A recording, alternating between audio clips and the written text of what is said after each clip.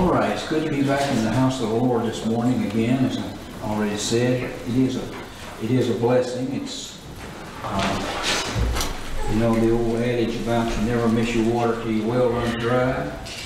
Well, we're having a good example of it this morning, Brother Larry being out, and uh, just you continue to pray for him and uh, ask the Lord to touch his body and heal him the next time we come together, that he'll be well to be with us and minister to us. Uh, We are looking forward to hearing Brother Jerry this morning as he brings a message, and we do ask that you pray for him. Uh, Pray for this uh, lesson this morning, that uh, uh, I might be in the will of the Lord, and I might read the words correctly that are in God's word, you know.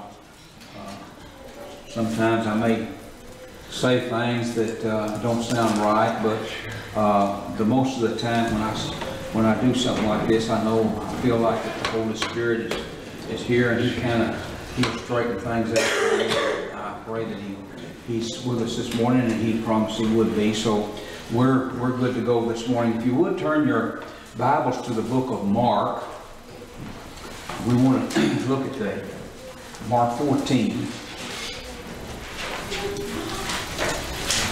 And it's the 12th chapter, uh, 12th verse where we want to start, concerning some of the uh, things that are uh, even in- in promising and uh, preparing. Uh, This is what I was hoping to uh, stress just a little bit this morning, so you bear with me and uh, pay attention to the word, and I think the Lord will bless you. This morning in, in verse 12 of chapter 14 of the book of Mark, it says, And the first, and the first day of the unleavened bread, when they killed the Passover, his disciples said unto him, Where will, where will, wilt thou that we go and prepare that thou make us eat the Passover? And we see here, this is, uh, uh, one of the disciples asking Jesus this, and he didn't know where to go to prepare a place, but anyway, we see in, in verse 13, and he sent forth two of his disciples and said unto them, Go ye into the city, and there shall meet you a man bearing a pitcher of water. Follow him. And wheresoever he shall go in, say ye to the good man of the house, The master saith, Where is the guest chamber where I shall eat the Passover with my disciples? And he will show you a large upper room furnished and prepared, there make ready for. So this morning I wanted to read this for you.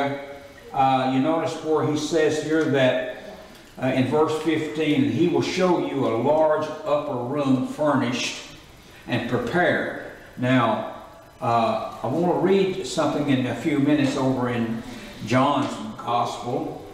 And it's, it goes like, In my Father's house are many mansions. If it were not so, I would have told you, and I go to prepare a place for you. Now, this morning, we that are the children of God have already had a, have a place prepared for us, and our names are recorded. It's been done before the world began, before the world was ever created. God, in His all-knowing, knew what He was going to do, knew who He was going to call, and knew how everything would end. He knew it all. Now you say, well, why would He do that like that? Well, you'll have to ask Him when you get up there. Because, listen, this little brain of mine is not strong enough to even come to the, to try to start to answer this. But I know that the Bible says that God foreknew all things. And so by this, I know that He knew where they were going to observe the Lord's Passover. And He told them here how to identify the one that would show them the place. And, uh, you know, it's, uh, And, and I don't know what their custom was back then, but he says here that the man will be bearing a pitcher of water. And I don't know, uh, but that would be, I could find him. Because, you know, you just don't see a, ever, ever, everywhere you go, see a, a man walking around bearing, carrying a, a pitcher of water. And so the Lord has made it very clear where that he has prepared this place for them. And he has also made it very clear to us where that we are going when we leave this world. And, and, and so here's, here's what I want you to see. And his disciples went forth and came unto the city and found as he had said unto them, and they made ready the Passover. Now he says it's prepared for them, but it wasn't ready. So these disciples got everything in order, and I don't know what all they had to do, but they had certain things that they had to do to prepare for this meal, this Passover that they were going to uh, observe. And it, the Passover consisted of a lamb and wine and bread. I know. And it may have, and, and it, it talks of bitter herbs also. So that this was some of the things that they had to prepare for uh, the Passover. So he said here, and as they, uh, and, and, and in verse uh, uh, 17, and in the evening he cometh with the twelve, and as they sat and did eat, Jesus said, Verily I say unto you, one of you which eateth with me shall betray me. And they began to be sorrowful and to say unto him, one by one, Is it I? And another saith, Is it I? And you, you know, by them asking these questions, Judas Iscariot knew what he had done. Judas Iscariot knew because he had already uh, uh, tuck it in, in, his heart that he was going to was he was going to uh, do something for uh, against the Lord. And so, and he answered and said unto them, It is one of the twelve that dippeth with me in the dish. The Son of Man indeed goeth as it is written of him, but woe to that man by whom the Son of Man is betrayed. Good were it for him that good were it for that man if he had never been born. And so this is, this is some of the things this morning that we need to take in consideration. If we're not saved, if we're not saved and ready to meet the Lord, if the Lord has not called us, listen, this, this it says here for that man, it's good for him that he'd never been born. And it's a, it, it goes for anyone that's lost. Well, you need to think about this and you need to consider your condition because uh, there's no hope for you. There's no hope until the Lord Jesus Christ calls you or, and, save, and saves you. And so here is this is what I wanted to write now. I want I want I want to read this like I started telling you about here in John 14, if you would. And you know it by heart, I'm sure. But I want you to see this. John 14, 1. It says, Let not your heart be troubled. You believe in God, believe also in me. In my Father's house are many mansions. If it were not so, I would have told you, I go to prepare a place for you. Now, as the disciples, he told them where the place was at, and the room was ready, but they, the disciples, had to go and prepare the place for them. Now here, Jesus is saying, the mansion is already built for you. But he says, I'm going and I'm going to prepare it for you. I'm going to do the things in there that needs to be done and get it ready for you when you come. Now, what all that consists of, uh, I, I, I have no idea. But I know this. I know that if Jesus has been, been there and preparing a place for us some 2,000, some 3,000 years, listen, it's going to be some more of a place to stay and be, and we don't want to miss it. And the thing of it is, He'll be there, and He'll be with God, and the Holy Spirit will be there, and the, th the Godhead will be there with us, and we'll be rejoicing throughout the ages of eternity. And, and, and so here, it, it, it should encourage us, it should uh, make us to think. And he said, if I, and if I go and prepare a place for you. Now here he says, he said first, he says here, let not your hearts be troubled. In my father's house are many mansions. If it were not so, I would not have told you. So he's, he's, he's, he's telling you the truth. But he says, and I go to prepare a place for you. And if I go and prepare a place for you, I will come again and receive you unto myself, that where I am, there you may be also. So this morning, we as God's people need to be looking for him to come because he said here in the in his word, I'm I'm going to come back and get you. Now you say, well, it may not, it may be for a long time. I don't know. You don't know, nobody don't know, because Jesus Christ himself does not know what day that the Lord will send him back. But he knows this. He's ready to come back when he sends him. So here is the thing of it. He has promised us that he would prepare a mansion for us. He's, he's already built it. He's going to prepare it. And he says he's going to come back and get us. Now, this may be this may be old news to a lot of you. Uh, I, I'm sure it is. But I, I know this this morning that we as God's people need to be reminded of this thing because, listen, Satan is out there raging. And he is, he's on the war path. And listen, he's, he wants to hinder you in any way. And this morning, I want to show you something here in, in, uh, in Peter, what Peter said this morning, and you can you can take this uh, uh, and, and, and listen to it. But here in uh, verse, uh, let me find it for you just a minute. I'll show it to you. I'll, I'll, I need to, I need to read this. Uh, Peter said unto uh, to Jesus, he said, "I'll never leave you. I'll never forsake you." And we know that Peter did this thing. And listen, that's the same with us this morning. We have a desire this morning not to forsake the Son of God. We have the, the, desire in our hearts this morning to serve Him and be just as close as we can to Him. But listen, that adversary, your enemy, the devil, he's out there and he's trying to sway you. He's trying to infiltrate your body. He's trying to put thoughts into your mind that's not pleasing to the Lord. And people this morning, this, this old flesh that we have, it's so easy for the devil to get into and disturb. And listen, he'll lead you around just like a dog chasing his tail, right in a circle. Uh, he'll just keep leading you around and he will hinder you and keep you from serving the Lord. And so this morning, I'm telling you, you need to, you need to be aware of what's going on in your life because, listen, I know it ain't all peaches and cream.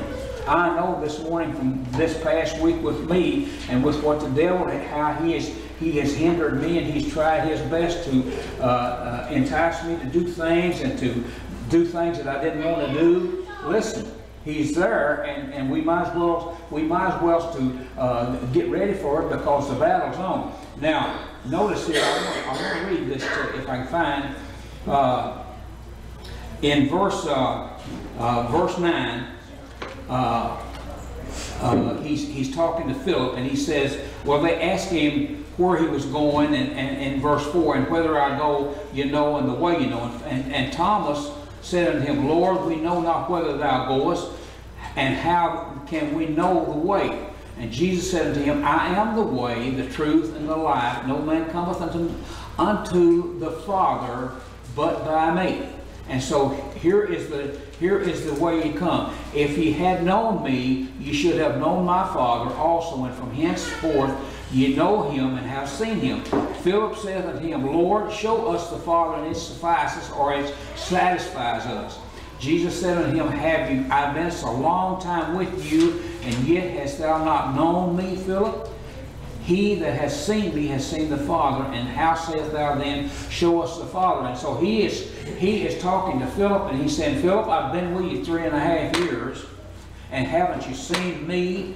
And you, if you've seen me, you've seen the Father also. And this morning, if Jesus Christ is in, come into your life and you and and and and, and, and spoke to you and, and called you, listen, you know who He is, and you know when He talks to you, and He knows you know when he says something to you that you ought to listen to, and you know the Father because Jesus said here, if you know me, you know the Father also. And so this morning, you are in connected connection with the Father through Jesus Christ, and Jesus Christ is sitting on the the uh, beside the Father, making intercession for you, and he's apologizing to God, or he's saying, Lord, I've died for them on the cross of Calvary, and my blood has paid the atonement, and I'm asking you to forgive them. And he cannot forgive Jesus Christ because Jesus Christ was a perfect being while he was here upon this earth, and he's still a perfect being. So here he asked Philip, he said,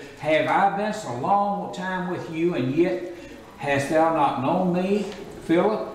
He that has seen me has seen the Father, and how saith thou then, Show us the Father? Believest thou not that I am in the Father, and the Father in me?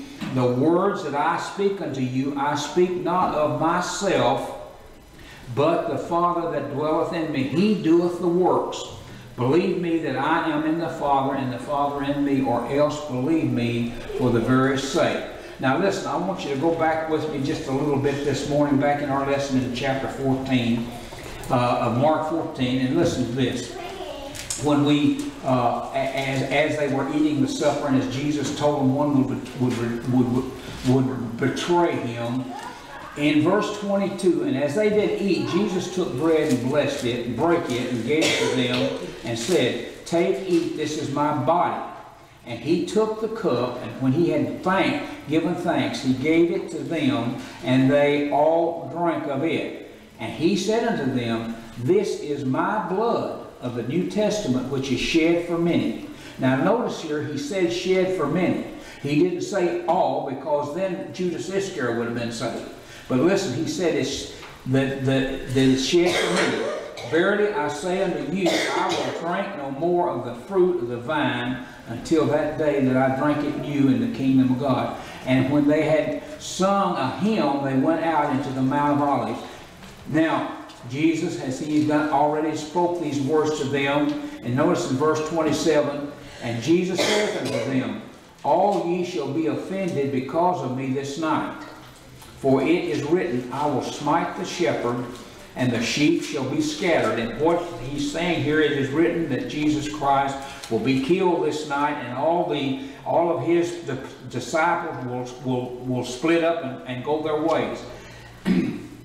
and notice uh, here, uh, but after I am, but after that I am risen, I will go before you into Galilee. But Peter said unto him, Although all shall be offended, yet will I, not I. And this is this is our desire today. This is it should be our desire today is to stand for Jesus regardless of what comes. And Peter, at that time, I believe with all my heart, Peter meant it. He meant it, and he, he said what he meant. But listen, Satan got into Peter. Satan caused Peter to fear. And notice what Jesus said. And Jesus said unto him, Verily I say unto thee, that this day, even in this night, before the cock crows twice, thou shalt deny me. And people we deny the, the, the, the, the Savior, our Savior. We deny Him, and, and, and, and we do it. And we have a desire not to, but there's, and, I'm, and that's the reason I'm saying to you this morning about Satan. Satan is so, he is so strong, and he is, he is doing everything that God will let him do. And he's coming to you, and he's, he's interfering with your life. He's causing you to do things and to and to get into trouble that you don't want to do. And so this morning, you need to take a second look at your life and how things is going and uh, get a little bit closer to the Lord because uh, it's not going to be long before this life is going to be over. And so I don't want to stand before God and, and, and, and, and, and hear these things. And uh, but he and this, now notice, in verse 31, what I said about Peter. But he spake the more vehemently, If I should die with thee, I will not deny thee in any wise. Likewise also said they all. And so all the disciples there that night agreed with Peter. And I don't know if Judas was there or not, but I, I'm, but all the disciples that was there agreed with Peter and said, no, we'll never deny you. But listen, they did. And they all left him because he said they would. And so he said here, and they, uh, they, and they came to a place which was named Gethsemane, and he said unto his disciples, now he said, he said here, he's telling them, he's not told them, he, I'm, I'm going to be, I'm going to be betrayed tonight. And he said, and he, and he, and they came to the place that was Gethsemane, and he said unto his disciples, Sit ye here while I pray. And he taketh with him Peter and James and John, began to be sore amazed and to be very heavy, and said unto them, My soul is exceedingly sorry unto death. Tarry ye here and watch. Now, you would think, you would think that a, that a, that a good solid Christian, a disciple that had seen the miracles that Jesus had done, he, he walked on water before him. He had, uh, he had fed the thousands. And he said, he, and, and he, when he, he told him to watch, and he went forward a little and fell on the ground and prayed that if it were possible, the hour might pass from him. And Jesus dreaded the, the sting of death. Jesus dreaded the dying on the cross. Jesus dreaded these things, and he, and he said, Abba, Father, all things are possible unto thee. Take away this cup from me. Nevertheless, not what I will, but what thou will. And this morning, that should be our, our prayer to the Lord is, if he will, remove it. But listen, if he can't, if he won't, and, and you know, Paul, uh, Paul had the, the, problem, and he said, uh, he prayed to Jesus three times, or prayed to God three times he would remove it. He said, no, I won't remove it, but he said, I'll, I'll make you strong enough that you can bear it. And here, Jesus is praying to God, take away this cup from me. Nevertheless, not what I will, but what thou wilt. And he cometh and findeth them sleeping, and said unto Peter, Simon, sleepest thou? Could not thou watch one hour? You know, you know that that was that had to be a low blow. That that that made it worse for Jesus because of uh, him telling them these things, and then and then coming there and finding them asleep. He said in verse 38, Watch ye and pray, lest ye enter into temptation. So this is the this is the one of the points that Jesus is trying to prove when we go to sleep on Jesus and when we fail to serve him like we should and when we make promises that we can't keep. Listen, he says, watch ye and pray lest ye enter into temptation. The spirit truly is ready, but the flesh is weak. And so that's what we're dealing with this morning, people, is a bunch of flesh that's so weak that we cannot, we cannot, we cannot provide for ourselves. The Lord has to do it for us. And we try to serve Him. And I don't, I don't know about you, but I know this I make a miserable attempt at it sometimes. And I, I get I get undone sometimes at myself because that I just don't, I don't do what I should do. Uh, I don't pray like I should. I don't read my Bible like I should. I don't, I don't, there's so many things that I could do better. But I ain't got no excuse. I ain't got no excuse. And again he went away and prayed and spake the same words. And when he returned, he found him asleep again for their eyes were heavy, neither wist they what to answer him. And he cometh the third time and saith unto them, Sleep on now. Now that's that I think sometimes is the way Jesus feels about me. He comes to me and he finds me asleep and he wakes me up He says, couldn't you stay awake? Come back again, I'm asleep. The next time he come back, he said, well, sleep on, sleep on. And, and sometimes I, sometimes I get, I get to the point where I don't know what to do because uh, uh, uh, of the way that I, the way that I serve the Lord. But here, again, he says to them, sleep on now and take your rest. It is enough. The hour has come. Behold, the Son of Man is betrayed into the hands of sinners. Rise up, let us go. Lo, he that betrayeth me is at hand. So Judas wasn't with them. Judas is going to, to get a, a, a gang to come back and take, take Jesus to the governor. And immediately while he yet spake, come Judas, one of the twelve, and with him a great multitude with swords and staves from the chief priests and the scribes and the elders. And he that betrayed him had given them a token, saying, Whomsoever I shall kiss, that same is he. Take him and lead him away safely. So I want to, that's, that's that. I want to read something else to you this morning, this morning to, uh, in Mark's gospel in, uh, uh, 6, 14 and 6, I believe it is 1462. I got something I want to read here. In, in Mark 14, 6, verse 62.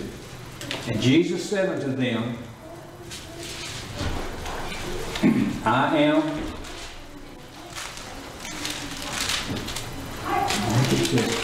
I am all, let me find it again. I, I am. I am, ye shall see, the, I am, and ye shall see the Son of Man sitting on the right hand of power and coming into the clouds of heaven. Then the high priest rent his clothes, and of course, here, I I should have read this, but here, uh, the high priest is asking him who he is. But in verse 61, I'm sorry, but he held his peace and answered nothing. Again, the high priest asked him and said unto him, Who art, art thou the Christ, the Son of the Blessed? And Jesus said, I am, and ye shall see me, the Son of Man, sitting on the right hand of power and coming in the clouds of heaven. Then the high priest rent his clothes and said, What need we any further witness? Ye have heard the blasphemy, what thinks ye? And they all commanded him to be guilty of death. And, and some began to spit on him, and to cover his face, and to buffet him, and to say unto him, Prophesy. And the servants did strike him with the palms of their hands. And as Peter was beneath in the palace, there cometh unto him one of the maids on the high priest of the high priest. And when he when she saw Peter warming himself, she looked upon him and said, And thou also with Jesus of Nazareth. But he denied, saying, I know not, neither understand I what thou sayest. And he went out into the porch, and the cock crew. And a maid saw him again and began to say to them that stood by, This is one of them. And he denied it again. And a little after they, after they that stood by said again to Peter, Surely thou art one of them, for thou art a Galilean, and thy speech agreeth thereto. And he began to curse and to swear, saying, I know not this man of whom you speak. And the second time the cock crowed, and Peter called to mind the words that Jesus said unto him, Before the cock crows twice, thou shalt deny me thrice. And when he thought thereon, he wept. And so that was that was the thing that Peter did. And you know, Peter Peter did this, and uh, the the Lord had it wrote down in in the Bible for not for not only for Peter's. Uh, uh, what he had done, but to remind us, Peter, how, how many things Peter had done, how much, what he saw and all this, but yet he, he even got to the point where he cursed and said, I don't know, I don't know Jesus. And so uh, we this morning uh, can think upon these things and and uh, maybe draw us a little bit closer. And, and when the devil comes, when he's trying to uh, aggravate you and, and get you to, to do things that he, that he wants you to do, maybe this will, this will bring to mind, the Holy Spirit brings to mind what we've read here concerning Peter. And, uh, uh, you know, it's, uh, it's, it's a, it's a, it's a close walk. We need to, we need to be in tune with the Lord every day and, uh, be, be humble as we can because, uh, that's one of the things that Jesus, uh, said that he would bless, uh, humbleness. So we thank you this morning for listening to us read God's word. Pray this God bless. you.